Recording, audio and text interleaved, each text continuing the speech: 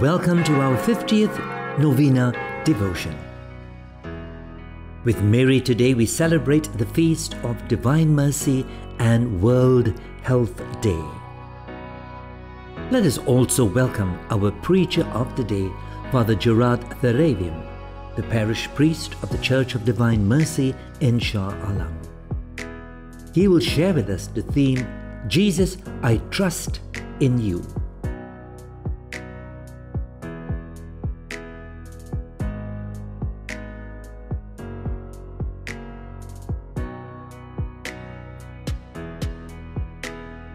Today we enter another home of our parishioner Mariadass Anthony and his wife Theresa, who welcomes us and lights the candle for our feast.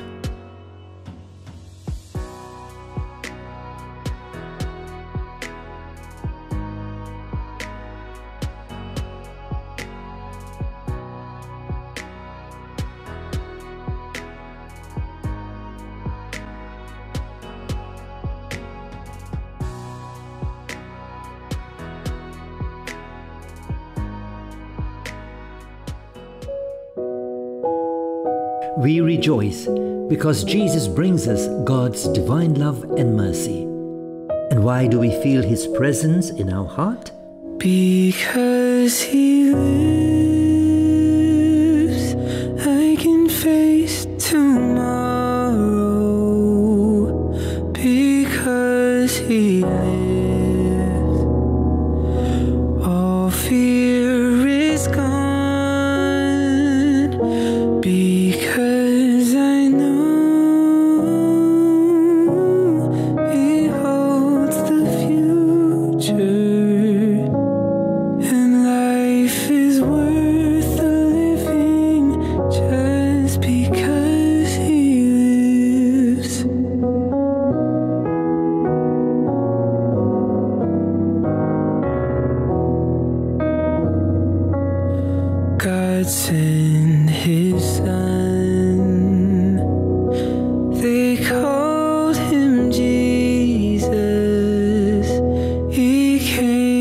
to love,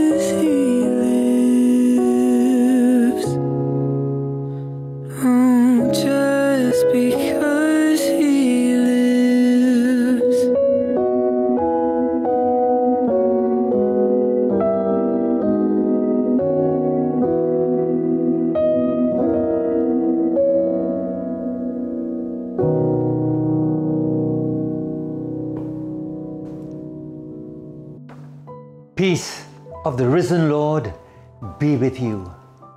And so, with Easter joy, let us all begin. In the name of the Father, and of the Son, and of the Holy Spirit. Amen. Dear brothers and sisters in Christ, we're grateful to God for the many blessings we have received from Him to the prayers of our Mother of Perpetual Help. Let us once more ask her to pray with us and for us. We have a very unusual topic and intentions for our devotion today, and that is our health. Because on the 7th of April we celebrated World Health Day. We have chosen this theme because Ipoh has the largest aging population in Malaysia. The theme for 2021 is Building a Fairer and Healthier World.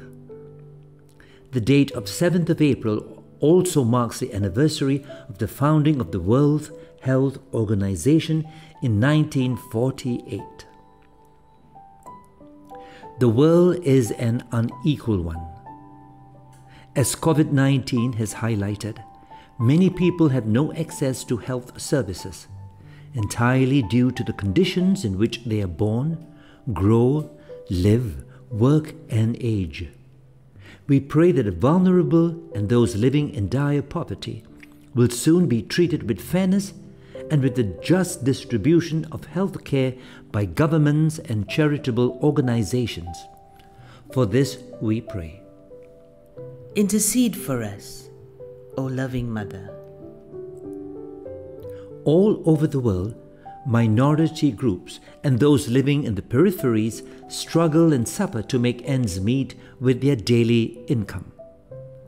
They have poorer housing conditions and education, fewer employment opportunities, experience greater gender inequality, and have little or no access to safe environments, clean water and air, food security, and health services.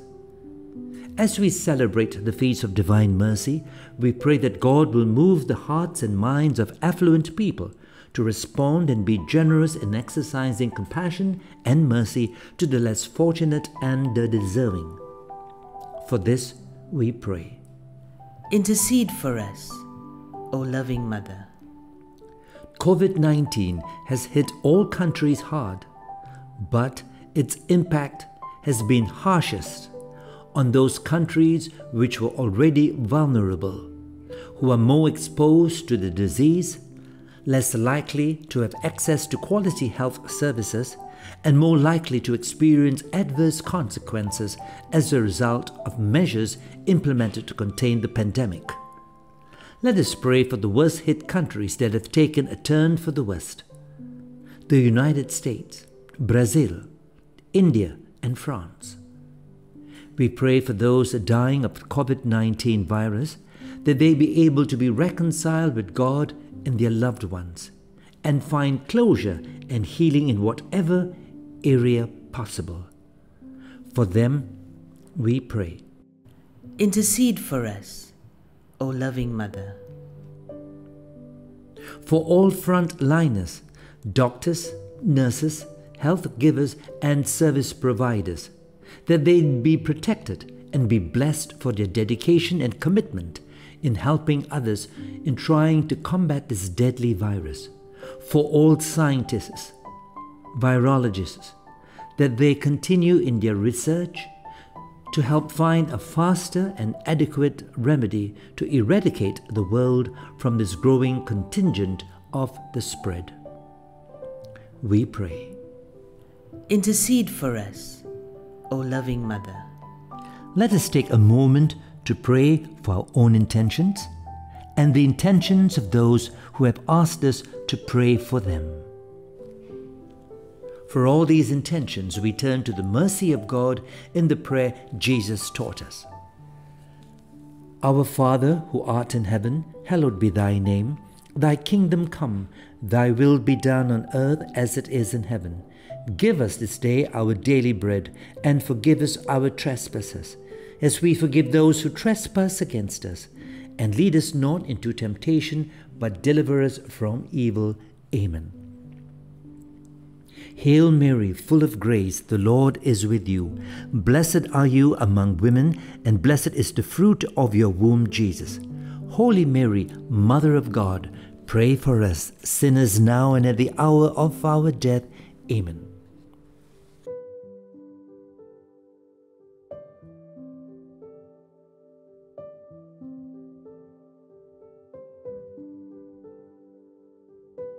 Let me now share with you the many letters that have come into our website and to our church, and they are picked at random.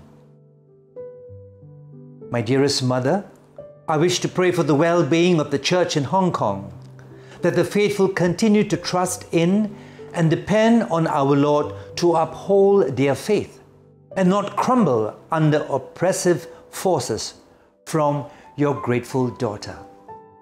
Dear Mother Mary, my mother was diagnosed with breast cancer stage 4. I pray that she will be given the strength to go to the treatment. Give us as family members the strength to be with her. I ask sincerely for my mother's complete healing. I believe and trust that you will intercede for us to Jesus to perform this miracle from your loving daughter.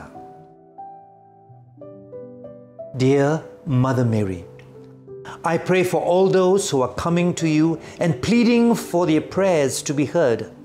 I pray you will intercede for them so their tears will be washed away and their burdens removed, but only if it is in their best interest.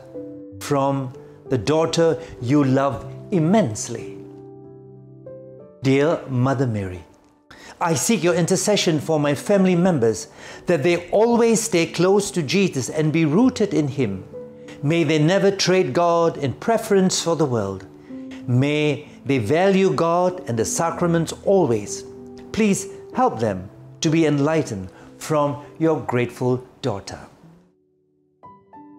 Dear Mother of Perpetual Help, please pray for my brother in law who has been diagnosed to have lymphoma, a growth in his heart.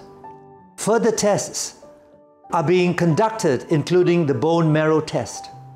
He was just called to the bar and just kick started his legal career at the age of 25. Please pray that the lymphoma is treatable and God's healing mercy upon him. Pray for the parents and family to have the strength to weather through this storm from your loving Son. Now for some Thanksgiving letters. Thank you for granting me the opportunity to go to confession and the sacrament of the Eucharist after more than 10 years due to the corona pandemic.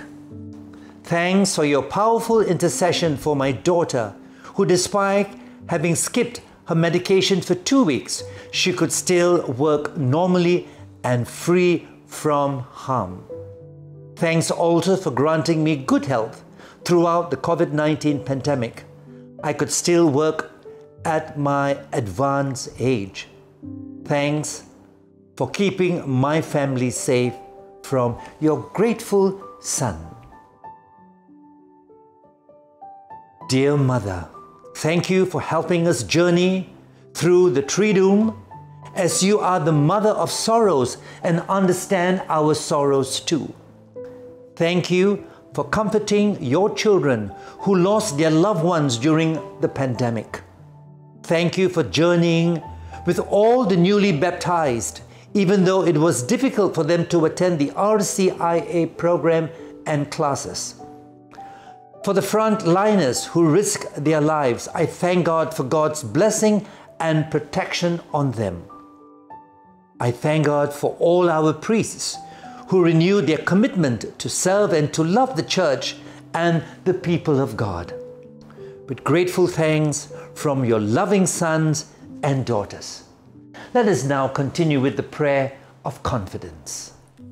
Mother of perpetual help, we come to you and place our trust in you. You are a mother of mercy. You are called by all the refuge and the hope of sinners. Be then our refuge and our hope. Help us for the love of Jesus Christ. Stretch out your hand to us poor sinners. We bless and thank God for giving us this confidence in you. In the past, we have so often sinned, but with your help we can conquer, and you will help us if we pray to you. In all our temptations, may we always turn to you and say, Mary, help me. Let me never lose my God. Amen. Let us share with Mary her prayer of praise and thanksgiving to God. My soul glorifies the Lord. My spirit rejoices in God my Saviour. He looks on his servant in her nothingness. Henceforth all ages will call me blessed. The Almighty works marvels for me. Holy is his name. His mercy is from age to age on those who fear him. He puts forth his arm in strength and scatters the proud hearted. He casts the mighty from their thrones and raises the lowly. He fills the starving with good things, sends the rich away empty. He protects Israel his servant, remembering his mercy, the mercy promised to our fathers, to Abraham and his children forever. Mary, you are the mother of Christ. And you are our mother also. Let us pray. Heavenly Father, we thank you with all our heart for giving us Mary to be our mother. She's so loving, so thoughtful, so understanding, and so kind. We thank you for her. Amen. And on this feast of divine mercy, a very special hymn for you. I'll sing a hymn to Mary. And this time, I will sing that for you.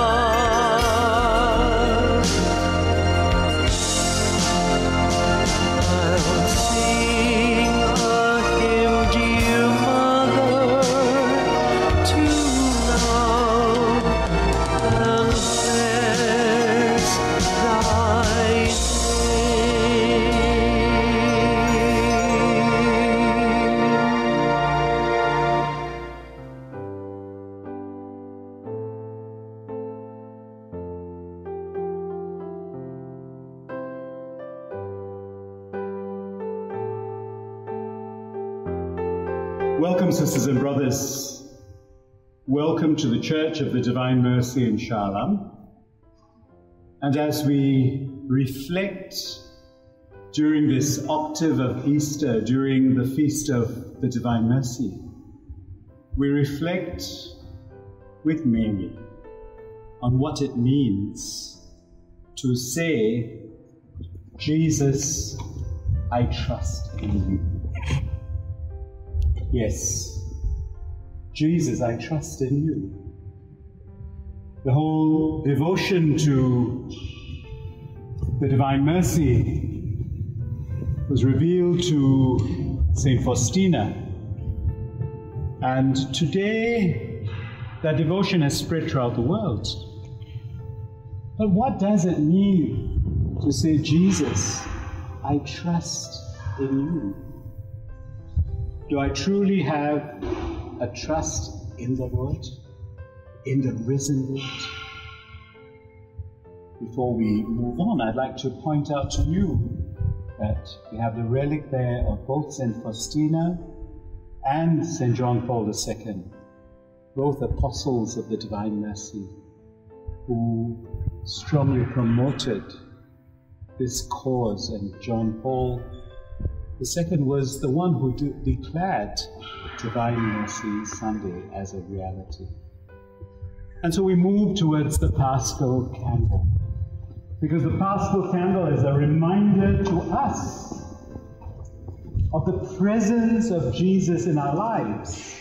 On Easter night, we remembered that in the darkness, the light was shown to us, and we were told Christ our light. Yes, He is the light in the darkness, and He calls us to bring light to dark situations in our lives. He calls us to light a candle instead of cursing the darkness. And let us go now to the Blessed Mother. For after all, this is what we are about in this novena. And here we are approaching what is our shrine, our little space to our Mother Mercy, our Mother of Mercy.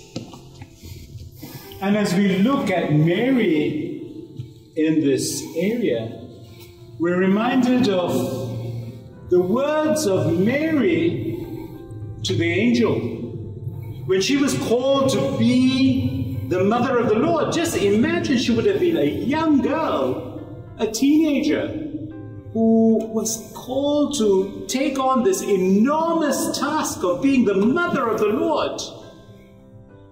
She was not yet married. So, what was all this about? There would have been questions going through her, but she was consoled by the angel's words. And she said, Behold, I am the handmaid of the Lord. Let it be to me according to your word.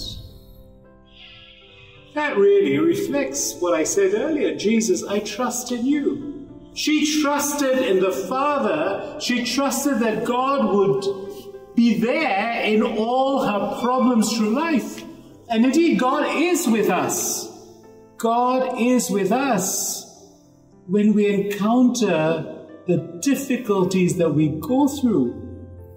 We go sometimes questioning, but can we have that hope, that trust in the Lord who provides all that we need, even though it's hard?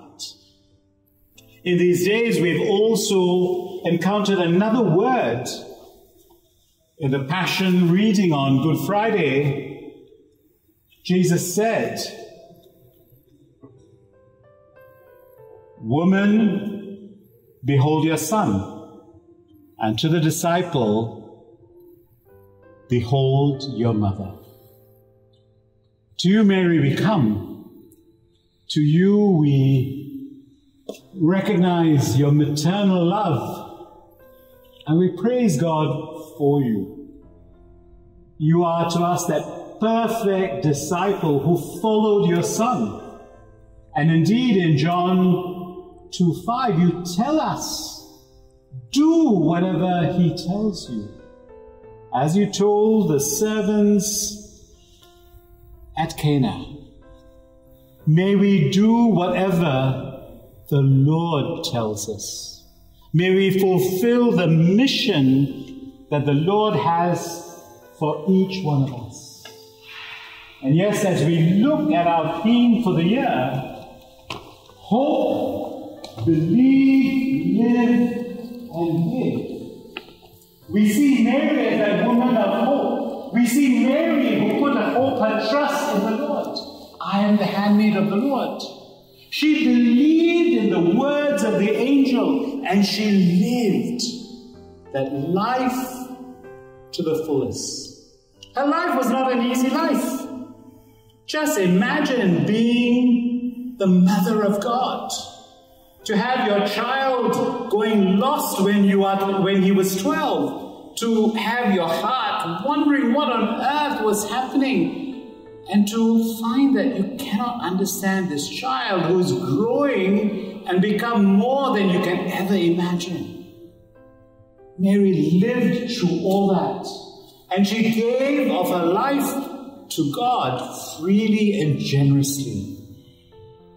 Yes, Lord, help us to be like Mary. Help us to give of ourselves completely. And as we look at you, O Jesus, of the cross for us, we are reminded of the Eucharistic words that you give us. Take, bless, break, give. Take us, Lord. Bless us that we may be blessings unto others like Mary was. Break us from our sin and our selfishness and anything that is not of you and give us to a hungry world. Help us, Lord. Jesus, we trust in you. Jesus, we trust in you. Jesus, King of Kings, we trust in you. Amen. Together, let's pray the Memorare. Remember, O most gracious Virgin Mary, that never was it known that anyone who fled to your protection, implored your help, and sought your intercession was left unaided. Inspired with this confidence, I fly unto you, O Virgin of Virgins, my Mother. To you I come, before you I stand, sinful and sorrowful. O Mother of the Word incarnate, Despise not my petitions, but in your mercy hear and answer me. Amen. Prayer for the sick. Lord Jesus Christ, you bore our sufferings and carried our sorrows. Hear our prayers for the sick. Help them to unite themselves with your sufferings, and if it is your will, may they get better. Let them never forget that you care for them. Amen.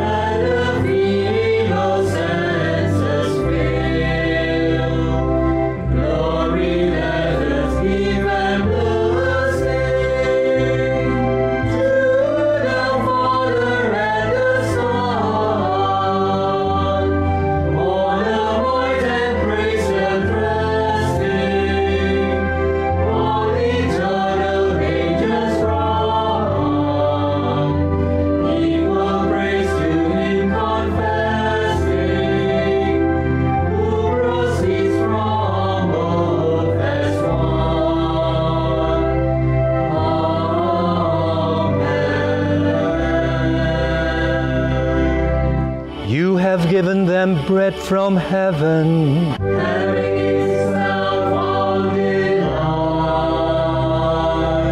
Let us pray. O God, in this wonderful sacrament, you have left us a memorial of your passion. We ask you to enable us so to worship the sacred mysteries of your body and blood, that we may constantly feel in our lives the effects of your redemption.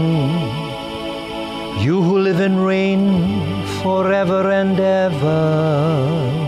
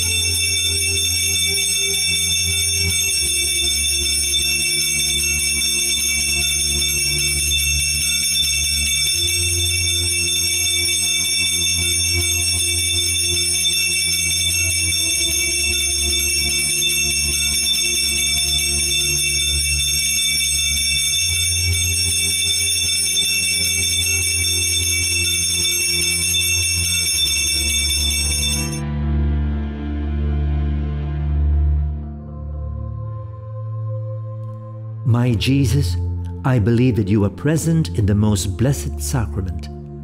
I love you above all things and I desire to receive you into my soul. Since I cannot now receive you sacramentally, come at least spiritually into my heart. I embrace you as if you were already there and unite myself wholly to you. Never permit me to be separated from you. Amen.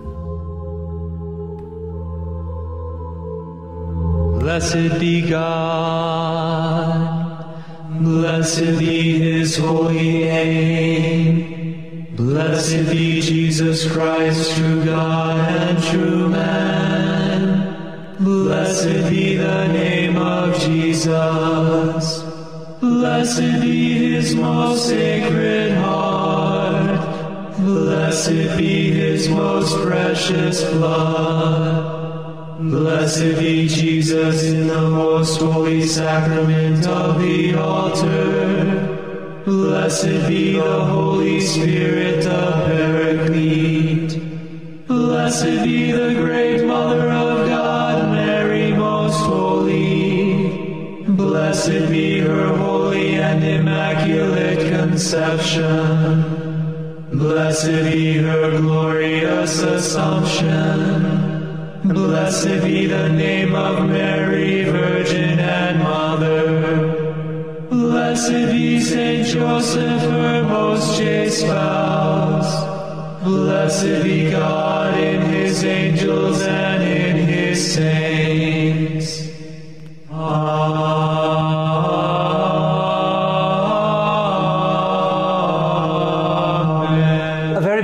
Thank you to our hosts.